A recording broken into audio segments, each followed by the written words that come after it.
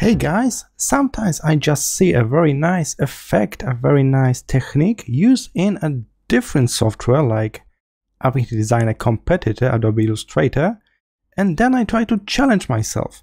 Can I get a similar result in this more affordable software? And that was the inspiration for our today's tutorial. As you can see here, I managed to create this text effect with those infinite strokes like ripples coming from the text. And I keep it all editable so we can simply double click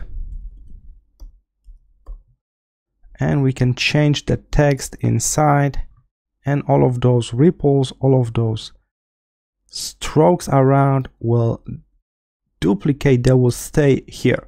So how did I get this effect? The trick is we need to use a version 2 because in version 2 we can click on layer effects and as you can see I add so many outline effects. So version 2 allow us to add a duplicate of existing effects. So not only one time but we can add the same effect over and over again. Keep in mind the one at the bottom must be the largest one. So in my case that's 800 pixels. You may see that the slider is stopping on 100, but we can override this just by typing the value. So let's try to add maybe one more extra line outside. So I will duplicate this last effect by clicking plus. Alright, and then I move back to the one at the bottom. This will be a bit larger, so 850. Now I change the color, this will be the white one and again I must click plus again. Go to the lowest one. This time that would be 900 pixels per x for pixels and the black color. And you can see we got the extra we got extra line. So we got 800 850 here and then we got 900 so we add two extra lines one is white and one is black. And we can keep adding those lines this way just by duplicating the very same outline effect by clicking the plus button. I keep the size different by 50 pixels. As you can see it's going down down down down down down down. Okay so it took me a while to add so many outlines that's why it would be a good idea to save this as a style. This way we can reuse that. So click on the text if you want to keep this style for later.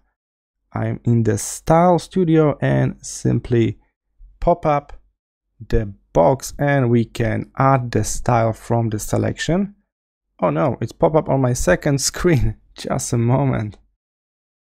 So we want to add this here to our styles let me just resize my window a bit. I don't know why it's popping up to my second screen. Okay how about now? Better. So take a look. We can add a new category if you want to organize this nicely but i think i will just drop it in a default category. Here it is. Add style from selection. And take a look. My style 10 that will be it. Let me move to the next artboard with a plain text. I click on the text, now I click on the style, and here it is, our infinite outlines. Of course, you can keep playing with it and adding more and more. I already noticed that it starts to slow down a bit, take a look. It's kind of jumpy, so I think it's heavy for the software to add so many effects on one object you must be careful here. If you'd like to try this effect, I will post a link to download this style from my Gumroad for free so you can play with it. Just a warning, as you can see it's kind of consume memory having the text with so many outline lines. Alright, that's really interesting. What else can we do by just adding multiple effects of the same kind here in the layer effect panel, right? We can duplicate inner shadows, we can duplicate gradients and colors and also other shadows. So this way we can get effects of our own design using those multiplications in the panel all right? So i hope this is interesting for you. Feel free to grab the style from the description and i will see you in the next tutorial. Bye